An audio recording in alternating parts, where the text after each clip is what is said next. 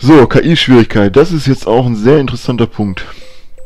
Aber es gibt, äh, mal gucken, wie viel gibt es denn? Es gibt 1, 2, 3, 4, 5, 6, 7. 7 Schwierigkeitsgrade. Puh. Also ich habe immer das Problem, ich habe glaube ich auf schwer gespielt letztes Mal. Ich habe immer das Problem, ich bin immer so ein Mittelding, ist genau wie bei FIFA auch. Also schwer ist glaube ich schon ein Punkt zu leicht für mich, aber Experte ist schon wieder viel zu schwer für mich.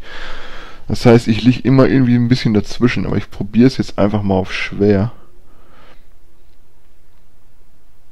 Ich glaube, den hatte ich letztes Mal auch, das passt schon. Okay, so. Mein Avatar. Schauen wir mal.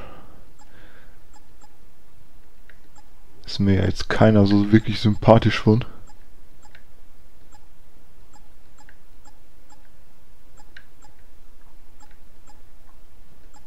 Hm.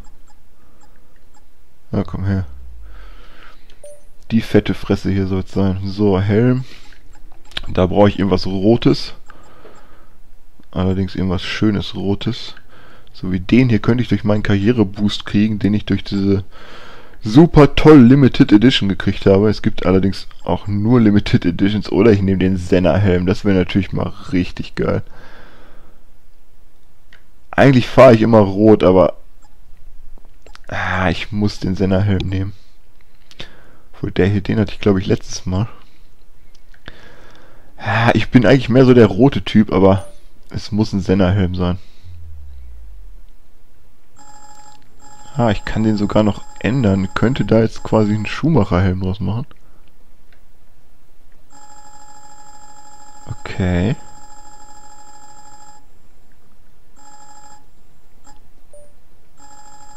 Es ist aber auch irgendwie jetzt gar kein Senderhelm mehr.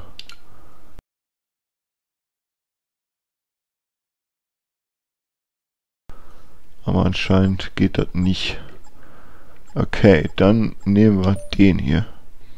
Den kann ich aber nicht einstellen. Das ist ja auch wieder blöd. Das ist ja wirklich dumm. Den Helm kann ich ändern. Diese Karriere-Boost-Helme kann ich nicht ändern. Na komm, dann nehmen wir hier den Karriere-Boost-Helm und dann ist gut. So, Nationalität, Krams. Ich bin ein German Man. So, die Fahrernummer. Sind natürlich jetzt nur die Nummern, die in Wirklichkeit noch nicht vergeben sind. Äh, das heißt, Adrian Sutil hat mir meine 99 weggenommen, aber ich habe sie trotzdem noch. So, my name is... Äh, Moment, jetzt muss ich mal gerade gucken. Ich muss jetzt hier mit Lenkrad schreiben. Das heißt, meine Steuerung ist jetzt natürlich so ein bisschen anders gerade. So. Äh, dann brauche ich L3. Ich hatte Agi. Selbstverständlich. Okay. So. Läuft. Wähle jetzt ein Team aus. Jedes Team hat andere Erwartungen und Bedingungen. Wähle also mit Bedacht. Ich finde es ein bisschen blöd, dass man als Newcomer gleich Mercedes und Ferrari starten könnte. Das ist doch kompletter Schwachsinn eigentlich. Das gibt's doch gar nicht. Kein Team würde einen Neuling sofort einstellen, also kein Ferrari oder Mercedes würde das machen. Ähm sauber ist mir eigentlich noch am sympathischsten. Denn ich muss natürlich oder möchte natürlich ein eher hinterwäldlerisches Team nehmen. Oder Toro Rosso. Aber ich mag Red Bull eigentlich nicht so. Ich fange bei Sauber an, weil mir Sauber einfach ein sehr sympathisches Team ist.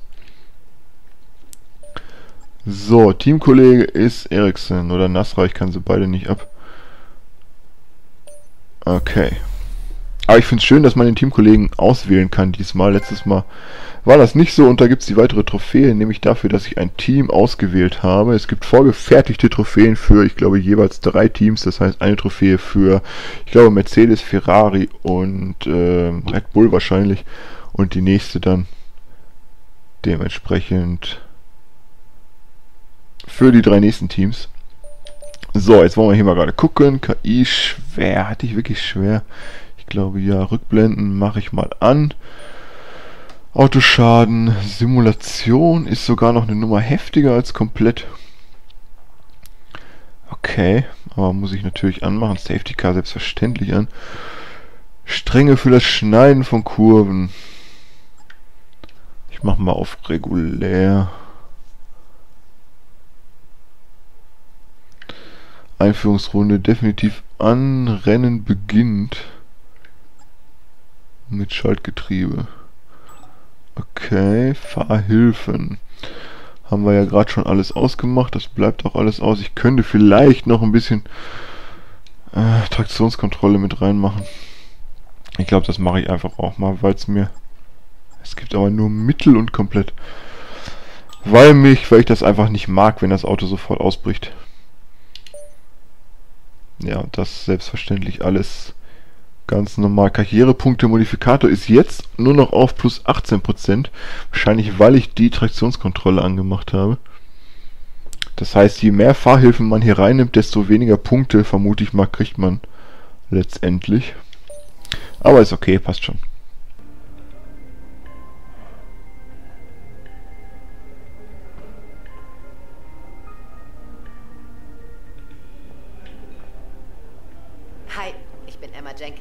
Spezialistin für Vertragsrecht. Und ich wurde gebeten, als deine Agentin zu arbeiten. Ich werde versuchen, dir die besten Deals beim Vorstand zu holen, weshalb du dort draußen auf der Strecke aber auch dein Bestes geben solltest. Sobald du neue Vertragsangebote erhältst, sowohl von neuen Teams als auch nur eine Änderung des bestehenden Angebots, bin ich die Ansprechpartnerin.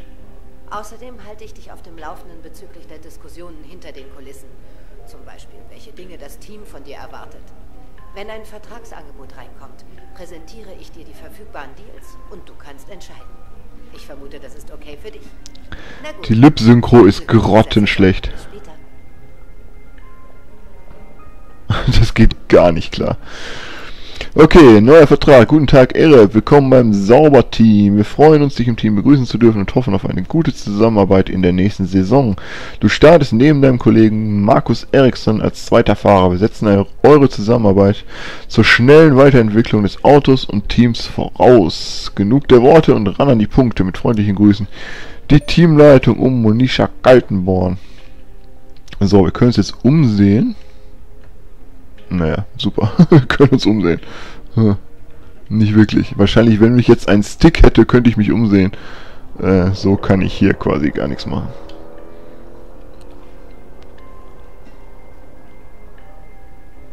Laptop-Einführung. Mit diesem Laptop kannst du deine Karriere verwalten, wenn du nicht auf der Strecke bist.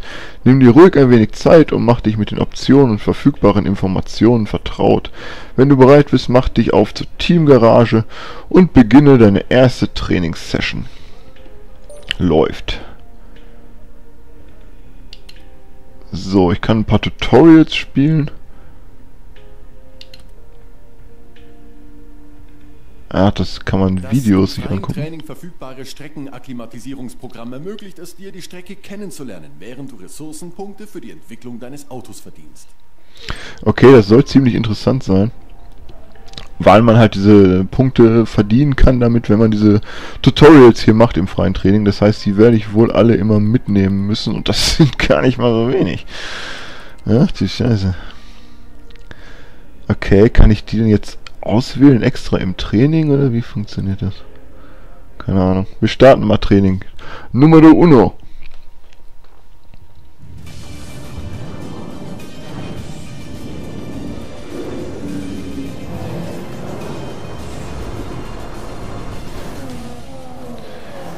Ihr seht schon, es hat sich so von den Intros und von den Menüs und sowas gar nicht viel geändert zu 2015.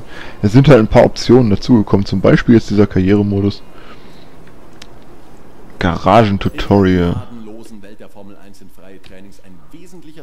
Rennwochenendes.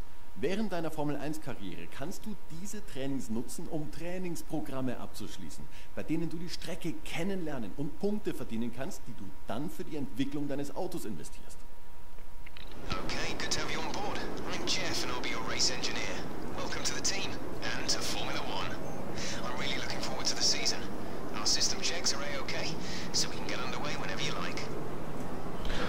Okay, so, ich habe den Teamfunk auf Englisch gestellt, weil halt englischer Teamfunk in der Formel 1 normal ist. Ich finde es geil, dass man das endlich wieder machen kann. Man konnte das früher bei, ich glaube, 2011, 2012 oder was mal machen. Irgendwann haben sie es dann geändert, dass man nur deutschen Teamfunk machen konnte, was ich echt schlecht und scheiße fand. Und jetzt habe ich endlich meinen englischen Teamfunk wieder. Das finde ich eine super, super Sache. So, Setup. Ich bin nicht so der große Fahr-Setup-Typ, muss ich sagen. Aber wir können trotzdem mal gerade reingucken.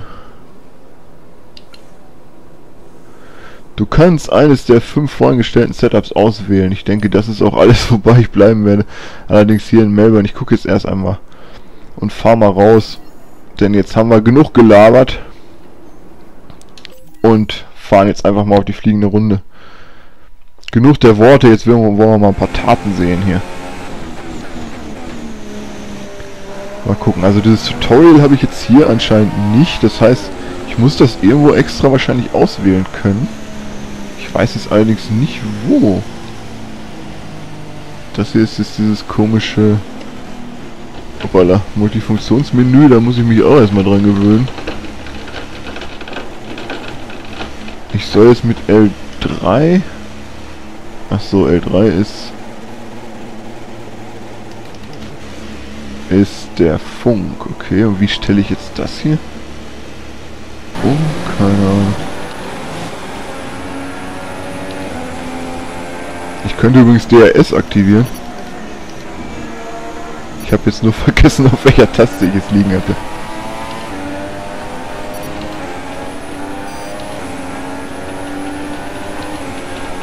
Selbst der Männer ist schneller als ich.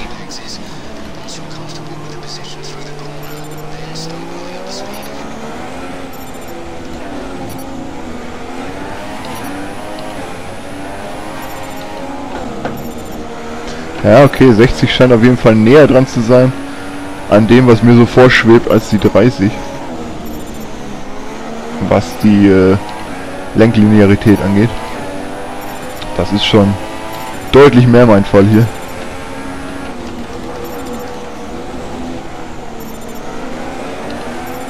Trotzdem sind die anderen Autos immer noch viel schneller als ich.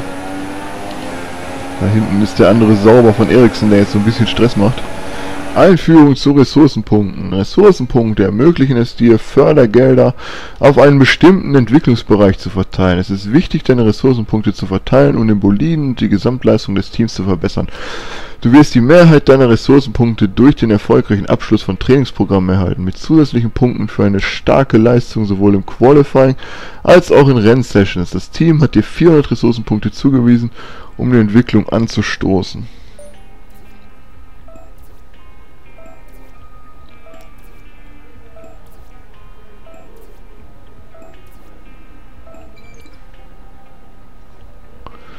Okay. Das sind unsere ersten 514 Punkte. Hey, Hi. schön dich kennenzulernen. Ich heiße Chris und werde als dein Fahrzeugentwicklungschef mit dir arbeiten. Mein Job ist es, den Wagen mit Hilfe deines Feedbacks in den Bereichen zu verbessern, wo du es für nötig hältst. Diese Lip-Synchro ist echt Bei schlecht. jedem Grand Prix lassen wir ein paar Trainingsprogramme laufen und protokollieren, wie sich das Auto am Limit verhält. Dadurch sammeln wir Daten, mit denen wir diverse Leistungsverbesserungen entwickeln können. Um zu wissen, welches Upgrade wichtig ist, wählst du für mich einen Entwicklungsbereich aus, auf den wir uns konzentrieren sollen. Das machst du auf deinem Laptop in der F&E-Sektion. Gut, das war's vorerst, aber ich halte dich auf dem Laufenden. Okay? Wunderbar. Hau ab. So, Teil des Programms. Das sind alles Trophäen, die man einfach so im Lauf der Story bekommt. Und diese Umsehen-Taste, wie gesagt, man hält sie gedrückt und dann äh, könnte man sich wahrscheinlich umsehen, wenn man einen rechten Stick hätte, den ich am Lenkrad jetzt aber halt nun mal nicht habe. Das heißt, im Prinzip bringt einem bei einem Rennspiel diese Taste überhaupt nichts. Das ist echt ein bisschen daneben. Nö, ich kann hier keine Taste benutzen, um mich umzusehen. Ich kann mit dem Lenkrad rumhantieren. Das Einzige, was passiert ist, wenn ich bremse, dass er dann hier so ranzoomt. Aber sonst passiert hier mal gar nichts. Das ist echt ein bisschen schade. So, ich kann jetzt ein Upgrade auswählen anscheinend. Die Motorleistung kostet mich 425 Punkte, Treibstoffeffizienz 250 Punkte, Chassisgewicht 500 Punkte, Abtrieb 500, äh, 475 Punkte, Entschuldigung, und der Luftwiderstand 300 Punkte. Hier sehen wir auch übrigens, wie wir uns verbessern würden im Vergleich zu den anderen Teams. Den größten Schritt würden wir hier machen bei dem Chassisgewicht. Darum würde ich sagen, wir nehmen das einfach mal.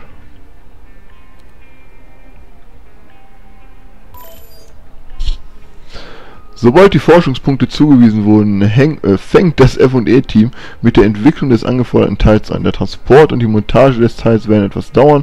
Vor dem nächsten Rennwochenende wird es also nicht am Teamauto angebracht. Ist gut, macht Sinn. Sehe ich ein. So, und die anderen Teams verbessern sich übrigens auch im Laufe der Saison. Der Saison. Das heißt, äh, wir sind nicht die Einzigen, die sich so ein bisschen verbessern, sondern die anderen Teams entwickeln ihre Autos dementsprechend auch weiter. Und äh, wir können zu Training 2 springen. und können hier das ganze Spielchen nochmal von vorne treiben. Also diese ganzen Trainingssessions sind durch dieses Tutorial und diese Punkte, die man sammeln muss, wirklich wichtig geworden. Vorher hat man die halt so ein bisschen übersprungen, also ich zumindest, aber mittlerweile sind sie doch sehr wichtig. So, das hier sind Teamziele, die muss man sich wahrscheinlich einfach nur merken. Erreiche die schnellste Zeit für den zweiten Sektor ohne Kurven zu schneiden. Vollende eine Runde mit minimaler Reifenabnutzung. Mit minimaler Reifenabnutzung im Reifenmanagement Trainingsprogramm. Das wollte ich ja auch noch machen. Also ab dafür. Gucken, was wir hier jetzt genau machen müssen.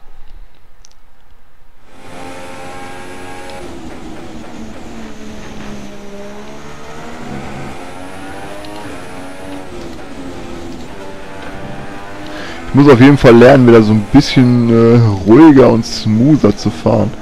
Bei Project Cars bin ich doch so ein bisschen am Driften gewesen und alles, so ein bisschen voll aufs Gas getreten und solche Sachen. Weil ich da einfach gerade meine Supercards am Start habe, mit denen kann man das super machen. Aber beim F1 Auto ist das doch ein bisschen was anderes.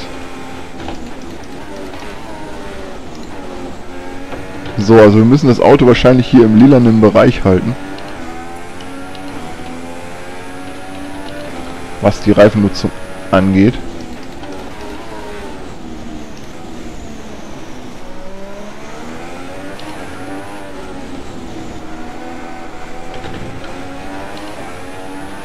Das heißt, ich fahre jetzt einfach mal so ein bisschen ruhiger und äh, versuche das einfach mal. Oder muss ich es im grünen Bereich halten? Das ist jetzt die Frage.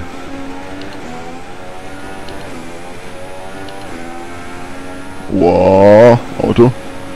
Oh, und da seht ihr es. Sofort geht, äh,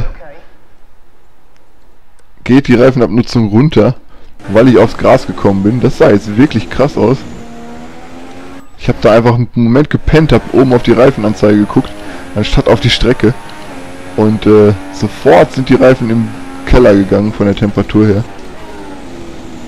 Oder von der Abnutzung her. Was auch immer diese Anzeige da oben bedeutet. Vier Runden soll ich fahren. Und ich denke mal, je mehr Runden ich aufs, auf die Reifen spule oder auf die Reifen fahre, äh, desto schwieriger wird es, die Reifen überhaupt auf äh, an diesem Punkt zu halten. Gerade habt ihr es wieder gesehen. Es ist so ein bisschen rötlicher geworden, quasi so ein Ausrufezeichen. Und hier wird es wahrscheinlich jetzt wiederkommen. Nee, doch wenn man zu stark über die Curbs fährt, ist das für die Reifenabnutzung natürlich auch nicht gut. Da war es wieder. Hier zu stark eingelenkt, auch da hat man es ein bisschen gesehen.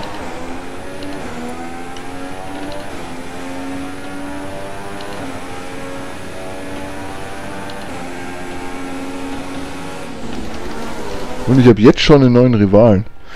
Den hat es vorher immer erst gegen Ende der Saison gegeben. Schlechte Lippensynchronisation, die ist so wirklich nervig. Oh Mann, ist das schlecht. So, die Rivalität ist ein Kopf-an-Kopf-Duell über mehrere Rennwochenende zwischen dir und einem anderen Fahrer. Das gab es ja vorher auch schon, allerdings wie gesagt da erst zum Ende der Saison. Und jetzt ist mein neuer Rivale, mein Teamkollege Markus Eriksson. Voicemail anhören. Hallo, Emma hier. Deine Ziele fürs Qualifying wurden heute in der Sitzung besprochen. Folgendes. Warum war ich bei der Sitzung nicht dabei als 19. Klar, ich bin gerade mit 5 Sekunden Rückstand 22. geworden, aber soll jetzt 19. werden, oder was? Wir müssen mir auch realistische Ziele geben, Kinders. So. Ach, guck an, krieg ich auch eine Trophäe für fürs äh, Setup einstellen. Ja, da muss man sich, glaube ich, bei diesem Spiel mit befassen. Bei den anderen F1-Teilen war das eigentlich völlig Latte, da konnte man trotzdem immer gewinnen. Aber ich glaube, hier muss man sich tatsächlich mit Auto-Setups und so beschäftigen. Was für mich dann schon mal nicht so meine Welt ist.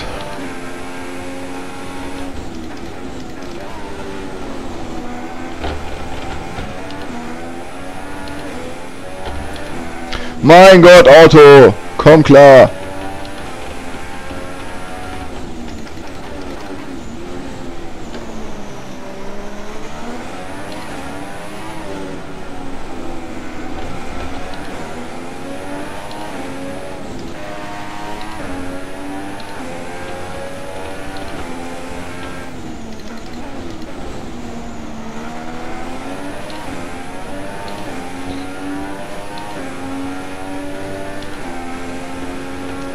Mir liegt diese moderne Formel 1 sowieso nicht. Ich bin mehr so der Senna Prost Schumacher Typ.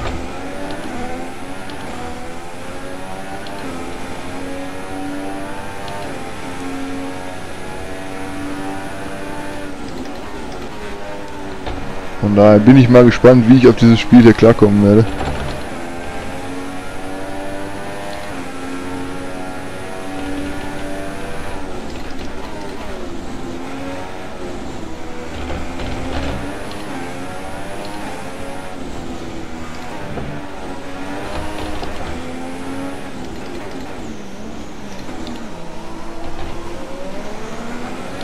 Ganz schlecht durchgekommen. Aber die ganze Runde war schon wieder nicht so der Burner.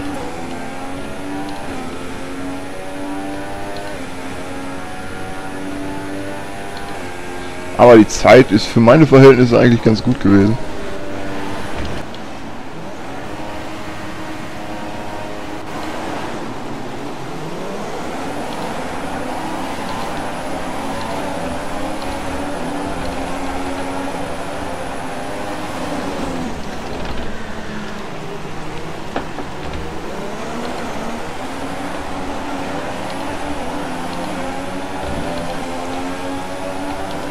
So, nächster Versuch. Wahrscheinlich ist der Frontflügel gleich wieder weg. Extrem spät auf der Bremse hier.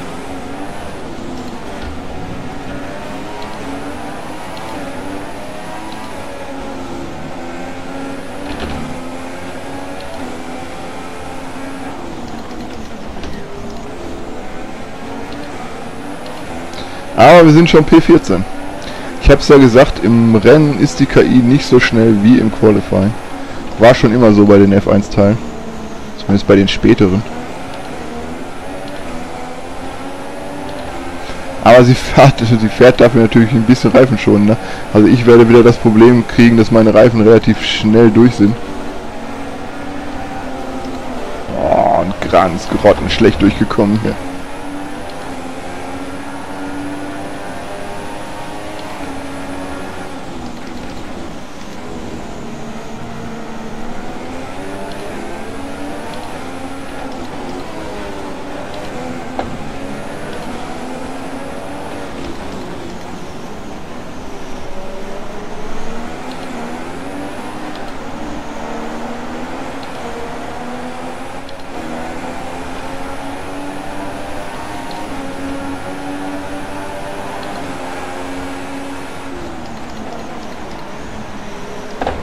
Kimi ist aus dem Rennen.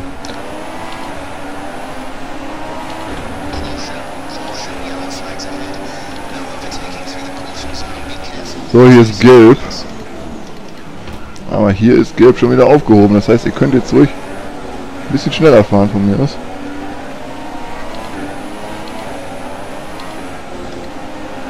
Es gibt ja jetzt auch Sachen wie Virtual Safety Car und das richtige Safety Car und solche Sachen. Also auch da muss man noch darauf achten, nicht dass ich hier unter Virtual Safety Car auf einmal irgendwelche Leute überhole.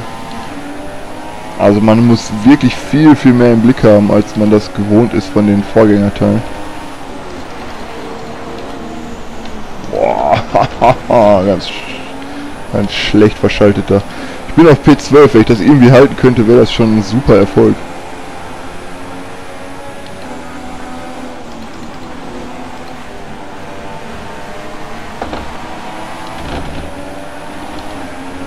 Da vorne, die geben sich aber auch richtig. Also je höher man den Schwierigkeitsgrad der KI stellt, desto mehr kämpfen die auch gegeneinander.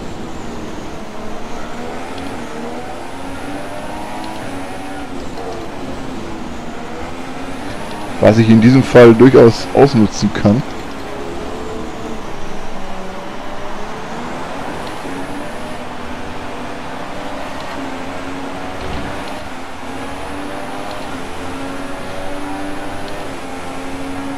DRS is being enabled this lap. You can use DRS when you put in place of the car wir DRS.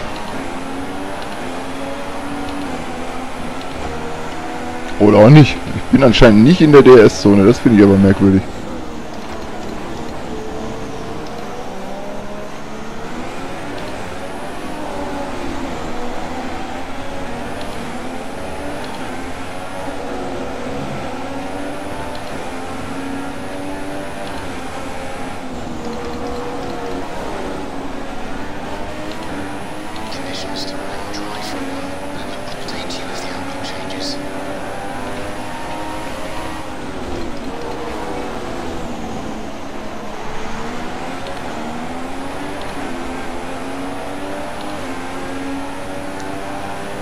Also ihr seht, im Moment konzentriere ich mich wirklich nur aufs Rennenfahren. Dieses ganze Menü und sowas, Einstellungen, Strategie und so, lasse ich jetzt einfach mal komplett außen vor, bis ich das Spiel einigermaßen wieder drauf habe und mit der Steuerung und mit dem Rennablauf an sich klarkomme. Dann kann man sich mit anderen Dingen befassen. Zum Beispiel jetzt auch mit Reifenabnutzung und sowas. Bis man dieses Menü überhaupt erstmal gefunden hat. Sobald ich da jetzt drauf gucke, bin ich sofort aus dem Rennen. Von daher lasse ich das lieber bleiben und konzentriere mich auf die Autos, die vor mir sind. So, jetzt haben wir DRS. Und da können wir spielen dran vorbei. Und ich will mal gerade gucken. Session verwalten, Speicherstand. So. Ganz wichtig, zwischendurch immer mal wieder speichern, falls man irgendwie Scheiße baut und das durch einen Replay nicht wieder hinkriegt. Kann man von halten, was man will, ob man das jetzt gut findet oder nicht. Äh, ich persönlich habe auch schon meine Grand Prix Teile so gespielt, dass ich zwischendurch immer mal wieder gespeichert habe. Und ich werde das auch hier beibehalten.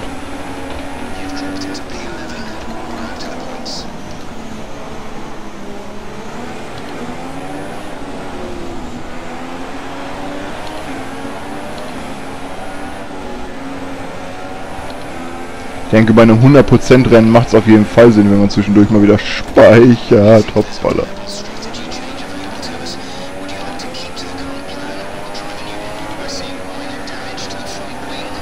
So, der linke Seite meines Frontflügels ist ein bisschen beschädigt.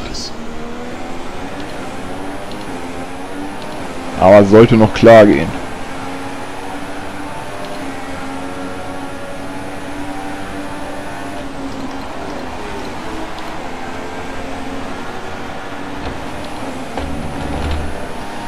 Kriege jetzt von hinten allerdings so ein bisschen Stress. Gutierrez macht da so ein bisschen Druck und fährt mir da erstmal ins Auto. Muss ich wieder aufpassen, ich da nicht wieder eine Strafe für kriege.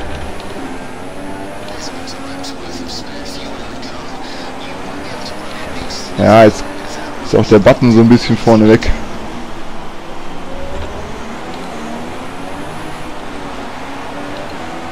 Gutierrez jetzt im DRS-Fenster.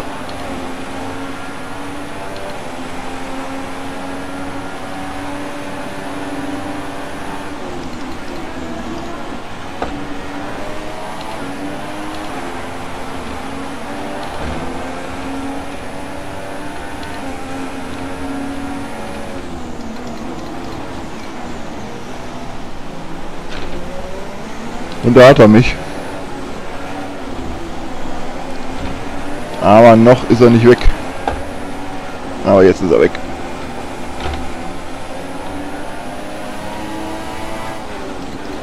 Und da ist schon der nächste.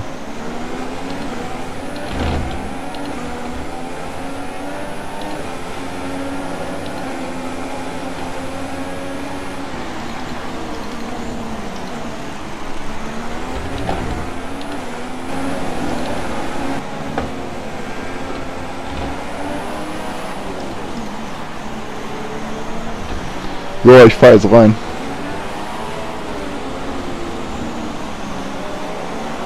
Okay, muss ich denn die Geschwindigkeit jetzt tatsächlich auch selber im Auge haben? Okay. Okay, okay, also man muss jetzt tatsächlich in der Box so ein bisschen aufpassen. In der Box selber kann man nach wie vor nicht fahren, aber man muss die Geschwindigkeit hinkriegen selber. Das ist ja immerhin schon mal ein kleiner Fortschritt und sie wechseln tatsächlich die ganze Nase.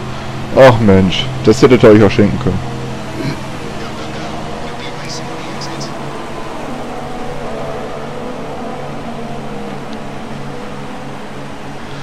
Ja, dadurch sind wir wieder auf P20 zurückgefallen. Die schöne, gute Position, die ich am Anfang des Rennens inne hatte, ist damit wieder vollkommen zunichte gemacht.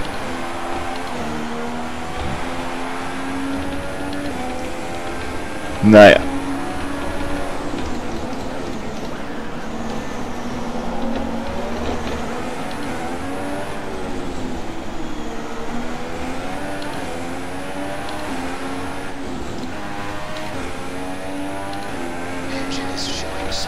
isso aqui.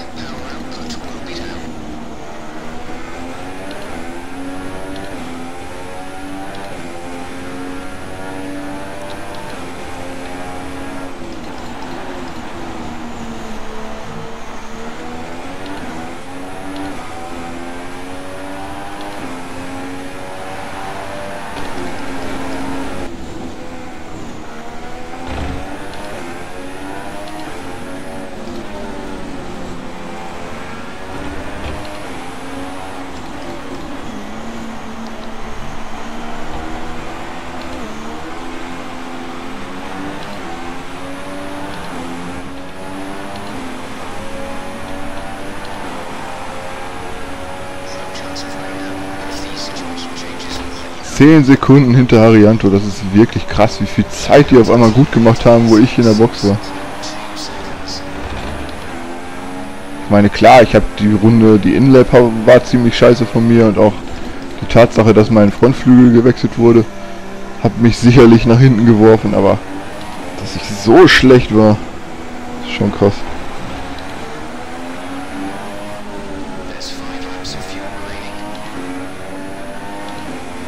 Naja, und Ericsson kommt auch schon wieder näher, also den werde ich auch nicht hinter mir halten können.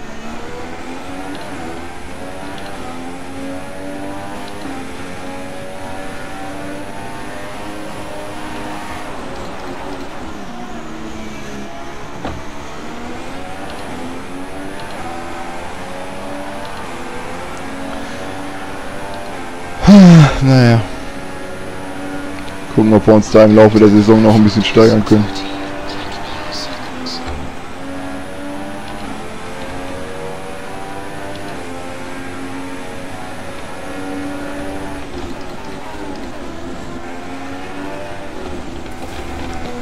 Ja, und das meine ich. Ich habe ja mal gesagt, man denkt immer, man ist zu langsam in dieser Kurve und dann gibt man wieder Gas und schon fliegt man raus. So, und da ist Ericsson auch schon hinter mir. Und wird mich dann auch gleich überholen, denke ich mal.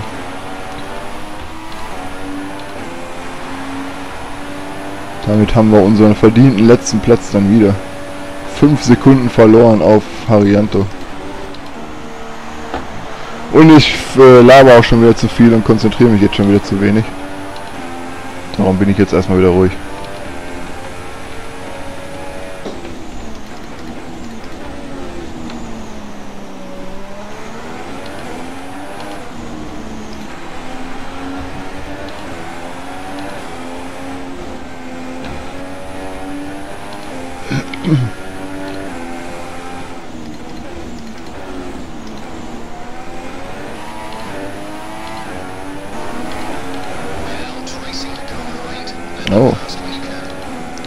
Wir werden schon überrundet, so schlecht sind wir.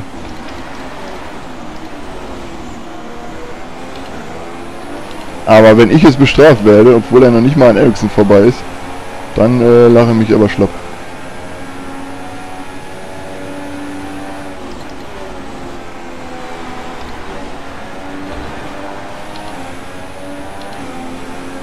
So, komm Luis. Ja, wo willst du denn vorbei? So, aber das Gute ist, dadurch, dass er mich jetzt überrundet hat, kann ich mir die nächste Runde schenken und kann tatsächlich vor Ericsson bleiben. Das ist eigentlich gar nicht so verkehrt, dass er mich jetzt noch überrundet hat, so kurz vor Schluss. Denn dadurch, wenn ich jetzt auf der Stadtzielgeraden nicht noch überholt werde von ihm und ich habe DRS sogar noch, Rosberg war es nicht Hamilton, und ich bin vor meinem Teamkollegen im ersten Rennen geblieben. Hab zwar den P19 nicht geschafft, den ich eigentlich schaffen sollte, bin auch nur 20. geworden, weil Raikön halt ausgefallen ist. Aber letztendlich Also wieder ein fantastischer Sieg für die Silberpfeile. buch, verbuche ich das als Erfolg. Stefan, was hat hier wohl den Unterschied ausgemacht? Die Strategie hat den Unterschied ausgemacht. Man hat gesehen, dass sie an ihrer Boxenstrategie gearbeitet haben, um jeden Stint zu optimieren und ihre Reifen optimal. Und hier Ja, sind die ja, Fahrer, dummes die es nach diesem spannenden Rennen aufs Podium geschafft haben. Sie haben hier wie so oft alle Erwartungen übertroffen und feiern einen verdienten Erfolg. Heute steht Mercedes ganz oben.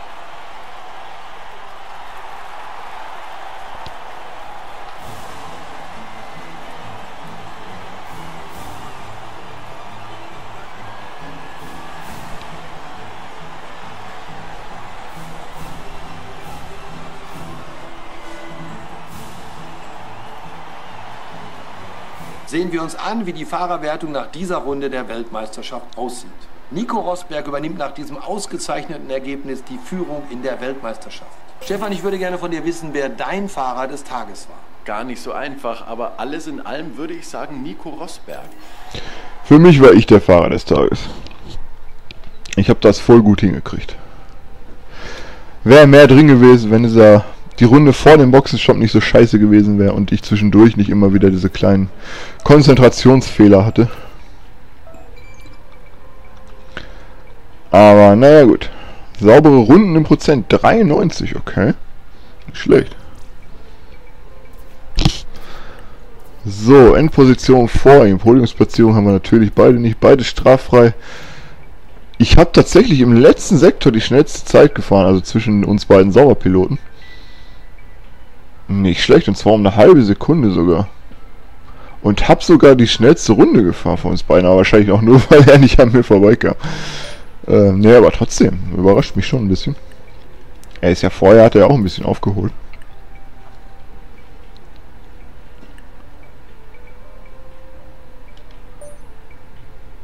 Einführung zu Karrierepunkten. Karrierepunkte erhöhen sich durch gute Ergebnisse auf der Strecke und in Übereinstimmung mit dem KI-Schwierigkeitsgrad und den Hilfeeinstellungen. Das waren diese 18%, glaube ich, die ich da vorhin gesehen hatte. Du kannst deine Punkte mit deinen Freunden vergleichen und herausfinden, wer der Platzhirsch ist. Okay. Ah, das ist quasi so XP-Punkte mäßig wahrscheinlich. Keine Rückblenden ausgelöst, ne? Das werde ich wohl nicht schaffen. Okay, so, das war das erste Rennen in Melbourne. Äh, Ich verbuche es trotzdem als Erfolg, weil ich nicht letzter wurde und meinen Teamkollegen deklassiert habe. Naja, mehr oder weniger. Danke fürs Zuschauen, bis zum nächsten Mal. Ciao.